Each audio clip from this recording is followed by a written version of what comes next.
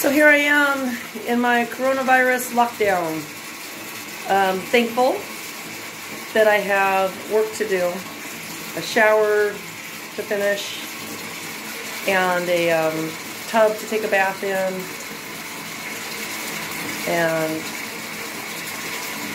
a lot of things to declutter and go through, and um, friends to support me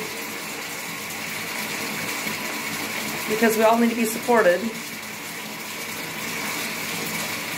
And there's a lot of people out there with lots of talents that get supported in their talents.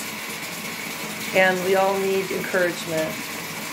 And we all need to realize that we're all vulnerable. We're very vulnerable to other people, to diseases, to autoimmune disorders, to emotions. We're very vulnerable people. Humans are vulnerable. So I hope everyone's safe tonight because safety first.